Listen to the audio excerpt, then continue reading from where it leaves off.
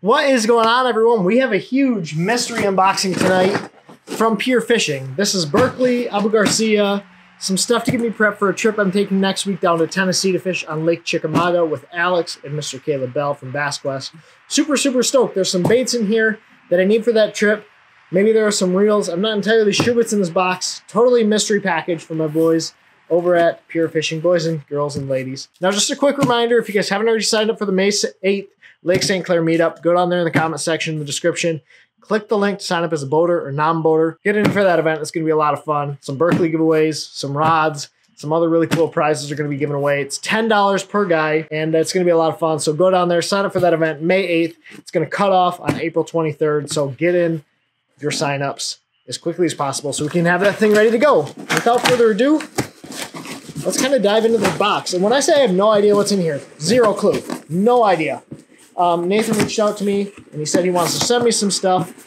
And so here we are. Okay, so first thing out of the box is this brand new Abu Garcia sun shirt. I really like these sun shirts. I always wear a long sleeve pretty much all summer long. So that sun shirt's going to get a lot of use this year. Um, as you guys know, I'm running Abu Garcia reels. Abu Garcia sun shirt. It's pretty sweet. Abu Garcia on the front. Big, big Abu Garcia on the back. And I'm stoked to be running those reels this season on my TFO rods. One of my favorite reels from last year was the Abu Garcia Zata spinning reel.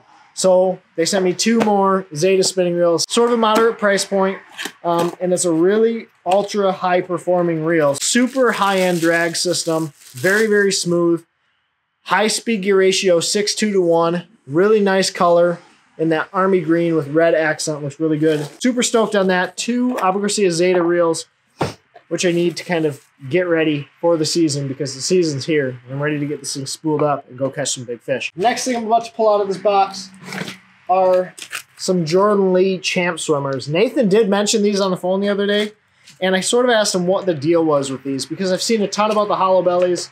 I've seen a ton about the power swimmers, but the champ swimmer really hasn't gotten the love that I think maybe it was expected it would get. And what Nathan told me is that this bait has a super, super hard roll. So he sent me some of these HD perch champ swimmers, and if you guys can see, it has a flat back, sort of a uh, hull-shaped belly where it's sort of curved in. That's going to let this bait roll really wide. So he said you can rig it on a jig head.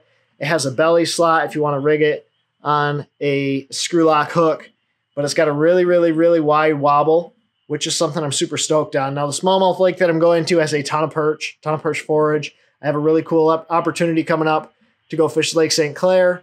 Um, and obviously that Lake St. Clair event, I'll have one of these probably tied on if I don't have a hollow belly tied on. So really, really cool alternative to some of those other swim baits on the market. And having that HD True printed on there is really cool. Plus it's in power bait. Power bait's my favorite scent just overall. I love it. And so should be pretty cool bait to throw around and kind of get to play with because the Champ Swimmers is a bait I've never thrown before. Another bait that I've looked at a ton, and this might actually be a little bit new, is this Champ Minnow. The Champ Minnow is a bait I've never played with. The flatworm gets a ton of attention, and these other drop shot baits get so much attention that I've never really played with these baits or fished with them. So what this Champ Minnow is, it's also HD True printed with a round goby on it, so goby imitation, and it looks really nice. I'm assuming you just nose hook this thing, drop drop shot it down there. It smells like power bait. It's probably gonna catch some fish. It's a really, really nice size. Three and a half inches. It looks really nice, man. I wanted to fish these. I wanted to get some, but it's one of those things like when you have confidence in a bait, when you have confidence in something, like you just don't really stray from it that much. This is a cool profile bait that I think I'm going to get a lot of really, really good use out of this year, especially when those fish start to get on gobies. So the Champ Minnow three and a half inches in size, and that goby color is really, really sweet. Okay, another champ swimmer. Now this color here is in a shad style color, or it's a blueback herring, but it looks a lot like the shad that we have around here, like that grayish blueback, a little bit of chartreuse stripe down the side. This is gonna be for my Chickamauga trip. So the big deal on Chickamauga is those fish get on a shad spawn bite, or they get on a shad bite right before they get up on beds and right after they get up on beds. So one of the baits that Caleb told me to bring was some swim baits so Nathan sent these along. Yes, it's blueback herring. It's not like the identical bait to like a threadfin shad or a gizzard shad, but it has that shad imitation sort of color, has that really wide wobble. I can rig this thing on a belly weighted swim bait hook, cast it up kind of around those shallow laydowns where those fish are probably going to be spawning or getting close to spawn. Hopefully catch some fish. Another bait most of you guys have probably seen is the Berkley Choppo. Berkley Choppo is a really, really popular bait. I work at Frank's, and this bait we sell about 9 million of a year. We sell so many of these baits, and the reason for that is it flat out catches fish. Unlike other plopper style baits, it has a really hard tail. So instead of like a plop, plop, plop, plop, plop, plop, plop sort of sound, because that tail has flex to it, this is a hard tail. And so what it sounds like is very hard sounding. It's like chop, chop, chop, chop, chop, chop, chop, chop, chop, as opposed to that plopper sound that you get out of the other style plopper baits on the market. But really cool bait. Again, this is for Chickamauga. Gonna get around. That's shallow laydowns, that shallow cover where those fish are gonna be getting ready to spawn, feeding up on shad, and that Choppo is gonna play a big roll on there. Now a pack of chigger craws. And if you guys saw my video on my favorite craw style bait, you guys know I love the chigger craw. I'm not gonna pull this out of the package. I just got done changing my oil and I don't wanna get my oil scent all over these baits. But the Chigger Craw is one of my favorite craw style trailers. Really, really, really effective bait to put on the back of a jig. It's what I had on the back of the jig when I went out and crushed them with Nathan and Trent. And this is in the goat color. The goat color is one of the brand new colors in the Ike series. Um, what the Ike series is, is basically a couple of Ike custom colors. And the goat is your green pumpkin with black and blue kind of swirl mixed into it. Really, really cool color. Super versatile. You can fish it on the back of a green pumpkin jig, black and blue jig, whatever color jig you're throwing on this bait is going to be kind of the perfect all around jig trailer. Black and blue, green pumpkin, two of the best colors ever, all mixed into one bait. Clean water, dirty water, just all around really good color in the four inch chigger craw. I'm super stoked on that. That, that chigger craw really is the deal. If you guys have never fished one, buy a pack, buy two packs, buy 10 packs, go and fish it. You're going to catch a bunch of fish. Texas rig, shaky head, on the back of a jig. It's just a really effective craw style bait that you guys are going to catch a bunch of fish on. And now we're getting into the banned baits. We're getting into the baits that have been banned as of April Fool's Day on the MLF Tour. And max scent is what we're talking about here. So first pack here is the Power Chunk. The Power Chunk is a really good cooler water style bait. Gives your bait a gliding action. Um, it's not something I've had a ton of experience with, but I know it works. Alex has been fishing chunks all spring long. Nathan, Trent have been fishing chunks. They're trying to like convince me that it's really effective trailer. And to me, it's just one of those things I have to get out there and throw when they're eating it because I know it works. I, have seen it work. I've got my eyes beat in by it. And so I just have to get it kind of tied on and built the confidence with the chunk trailer. And now we have a pack of generals. I'm going to try to keep this all together. The general is Berkley's version of the stick worm. So they sent me three packs of five inch stick worms, I do believe. Five inch baby bass, three packs. Really, really cool color. I'm going to pull one of these out to show you guys. But it's sort of a light watermelon with a little bit of black and silver gold flake. Really cool color. Max scent scent, which is really not that much, but it catches a ton of fish. Um, muted colors, which is another big player. The scent, everyone talks about the scent.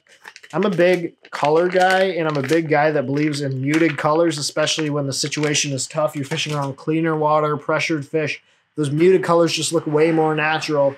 And so having those muted colors like that in the max scent lineup is really, really important for me. And I think it's just as important or as big of a factor in catching fish as the scent is. We also got a couple packs of the flat nose minnow. Flat nose minnow is a very overlooked drop shot bait. A lot of people don't think about it. And so guys, if you have been sleeping on this bait, the flat nose minnow is the absolute deal. Don't sleep on it. Please trust me, the flat nose minnow will not be around very long. Whether you're drop shotting, whether you're rigging it on the back of a shaky head, or excuse me, a Ned head, it's just a really effective minnow style profile bait to go on the back of a drop shot on a Ned head, drag it along the bottom. It catches big fish regardless of what you do. And again, it's in that max scent, sort of muted color tones, really good scent profile, and it catches a lot of really big fish. Now we're going to be diving into a very unique bait I don't think a lot of people talk about, which is the critter hog. I actually just bought a couple packs of critter hogs because especially around the spawn when you're largemouth fishing, lizard-esque style baits, these creature style baits that look more lizard-esque, tend to be really effective. I don't know if it's because there's lizards in the water. I don't know what the reason for it is, but you rig this on a Texas rig, rig it on a little Carolina rig, drag it around. when fish are getting ready to spawn and you can catch a lot of big fish on it. This is in a watermelon or green pumpkin red color. Watermelon red, muted color palette. Again, again, I'm going to keep mentioning that. It's important in the critter hog. Really cool looking little bait. If you guys have never thrown it and you're looking for a unique shape in the max scent lineup, that critter hog is really, really unique. And finally, this is a bait that I wanted to throw for a long time. And this is a bait that you're going to see on my channel a lot this year as I get more into largemouth fishing, is the Magnum Hitworm. I'm going to sort of throw out a little, uh, I guess, hot take here. The Hitworm is truly my favorite max scent shape. The hitworm over the flatworm is the deal. If you guys aren't fishing the hitworm, bite off just a tiny section. You can drop shot it. You can use it on a shaky head. You can rig it as a Neko rig. You can wacky rig it. The hitworm really is probably the most versatile shape in the in the max scent lineup. To me, it's one of my favorite shapes in the max scent lineup. So the Magnum hitworm is just a little bit longer and seven inch size. It's a bigger bait, a little bit bigger profile, but for largemouth that are hanging out deep, you can take this thing, you can do a variety of different things with this. You don't just have to throw it on a big Texas rig. Put a Neko hook in there, throw this thing around, and now you have a max scent bait on a Neko rig. You can rig it on a Carolina rig.